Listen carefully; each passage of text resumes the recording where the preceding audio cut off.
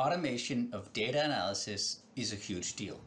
And why is that? Well, it's often because we feel we don't have the time to do data analysis because just getting to the endpoint requires so much work that we don't even get started. So that's why automating the interpretation of the analysis, the joining, concatenating, so on of the data, all of that should be automized. Of course, it only makes sense to automate if you find yourself repeating the, the same kind of step in your data analysis workflow. And if you find that you do repeat yourself quite often, you have to do some soul searching and, and ask yourself, is it worth doing the hassle of automating this process so I don't have to do it again? And you'll have to compare whether just ad hoc doing it every time is less than uh, taking the time to automate that. And as I'm about to show you, automating things in JMP is really, really simple with this new workflow builder tool that we have available in JMP 17. So let me show you how it works and let's get started. This video is going to be full of small tips and tricks on how to create different kind of variables, uh, how to create different kind of columns, and we're going to automate all of that. And I've tried only to include examples that I have found myself doing in the past. First thing we're going to do is we're going to go ahead and press File, New, Workflow. Now this kind of workflow is only available if you have JMP 17, but if you have JMP, it's free to you to upgrade to JMP 17, so I'll absolutely recommend for you to do that. It's a great version. If you had JMP 16, we had something similar, and I'll put a name of, of what it is somewhere in the screen right now. Um, but go ahead and, and open the workflow. Then when we have the workflow builder open, it's sort of like a, a fancy macro uh, maker. Um, we're gonna press that record button. But first, again, we're gonna, I wanna just clear the history and I'm gonna press that record button. So now it will stop recording the steps that I do. So, well, step one will be to import Excel data. I've already had a video where I explain how this works.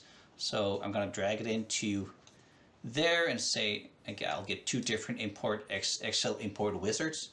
I can see that this looks fine. I have the column headers where I want them and I have data starting in row one. I know there should be 70, 76 data rows, so that is beautiful.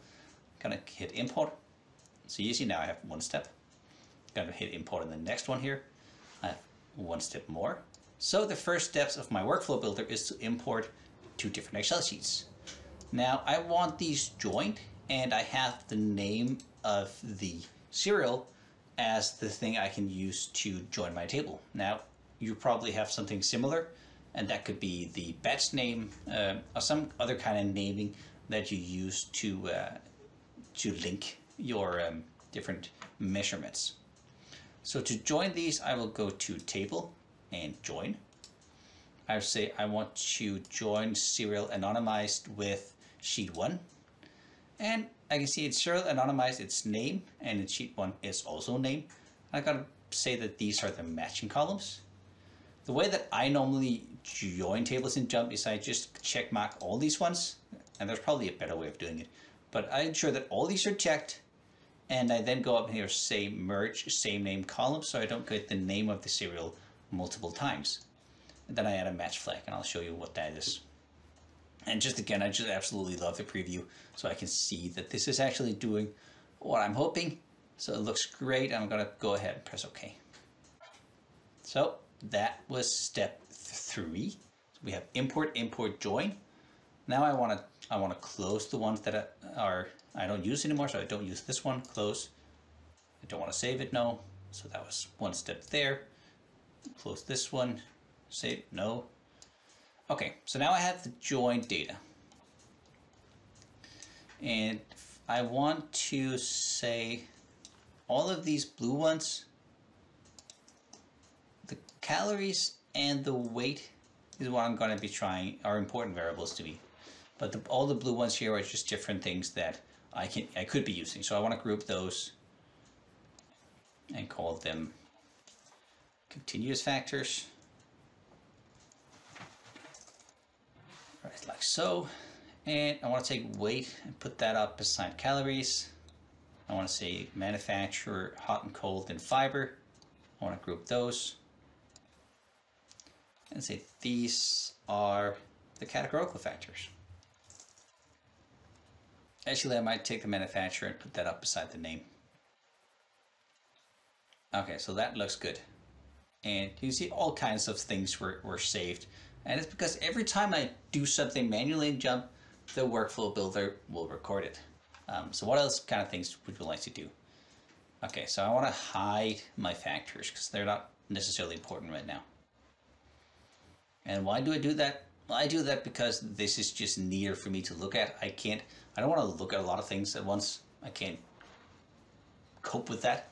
Um, I also have a match flag here, and, and when we were, were doing the joining, I checked marked that I wanted the match flag.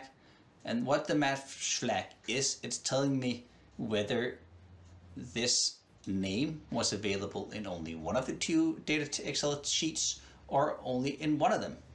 But all of my names were available to me in both. The easiest way to see that is click that button right there. I can see all of these were available to me in both. Okay, so not very interesting. I'm going to go ahead and hide that as well. And now it's, I'm to put it right all the way down to the bottom. Like so. And now I'm happy. Okay, so I have calories and I have weight. And I would assume that these two are pretty correlated.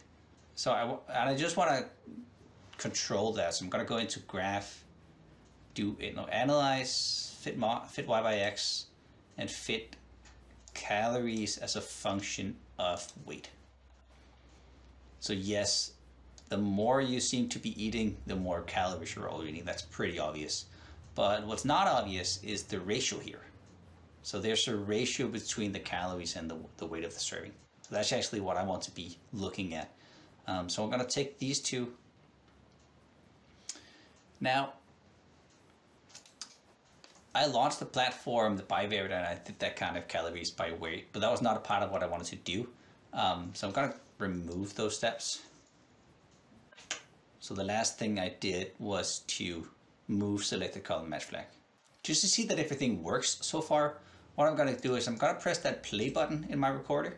It's going to run through these steps and hopefully create a data table that looks exactly like, that, like this. Okay, so let's do that. Play. Boom, boom, boom, boom, boom. Dum, dum, dum, dum. And how great is that? It worked. First try. It's got to be some kind of record. Um, okay, so I would rather look at calories as a function of weight servings. So I'm going to go in and say I want to have a new formula column. There it is. And I want to look at combine the ratio of this because those ratios are not the same. So that's a much better. Um, now I hate decimals, uh, so I'm going to go in and remove the decimals from these. Maybe all my continuous factors have a lot of decimals. Let's take a look. Yes. Okay, let's remove decimals. So everything I wanted to have fewer decimals on, I, I have now highlighted. Um, well, that doesn't have any decimals, so I'm going to... No, I'm happy with the decimals that I have there. So these ones, and if I want to change something in multiple columns, I can go to cuts and say I want to standardize attributes. What do you want to change? Well, I want to change the format. And I can see here the format, that's why I know it's format, because it says so there. And change from best to fixed decimal. And I only want one decimal. Thank you very much. Okay, because that is much prettier someone has negative sugar. That's doesn't sound very nice. Okay. so let's hide that again. Right, so sometimes I, I want to be eating a big portion. Sometimes I'm going to be wanting to eat a very sweet portion, especially if it's Monday. Um, so I need some new variables where I can measure how much I want to eat on that particular day and how sweet it needs to be on that particular day. So in order to do that, I need to have a two new columns so I start off by making two new columns and kind of one of them is going to be called portion size portion size and the other one is going to be called sweetness okay like so I think so portion size well in order to make meaningful decisions on portion size and sweetness, I need to know what kind of portion size and sweetness are there. So from when I make distribution plots so I start by deselecting everything by clicking on that triangle there, that triangle there, make sure that no rows are collected, no columns are selected. And then I go and find whatever I want to have a distribution on. So I go to my continuous factors, I want sugars, and I want weights. I go to the distribution button, and I then just go directly and press OK. And because they're highlighted, that will then give me a distribution of the two. Okay, now I'm ready to do some formulas. So, portion size. What kind of portion size do we have? So if I want just to, we're gonna just gonna go big or small. So that's more than 40 or less than 40. So we're gonna do an if. Let's find if. If, if, portion, if weight servings is higher, or less than 40, then small, else, oh, and when you write text, you need to do that in these ones.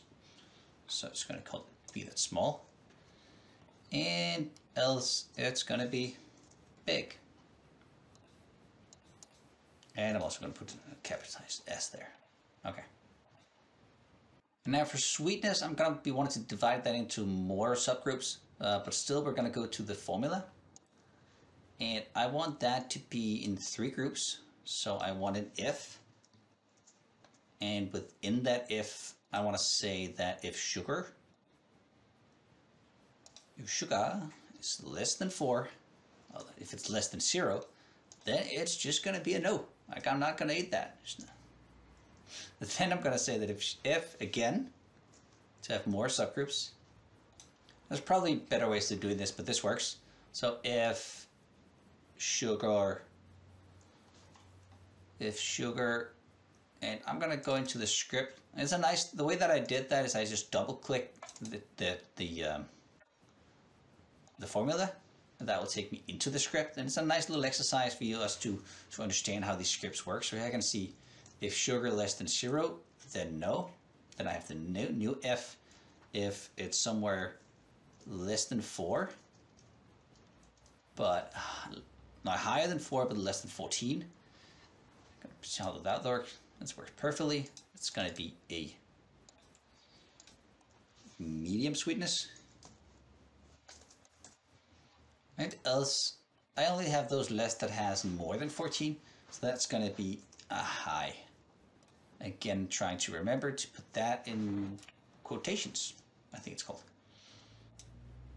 Okay. And now I'm still seeing that this is chugging away, remembering all the things I did. The last thing I was doing was doing that uh, change column formula sweetness.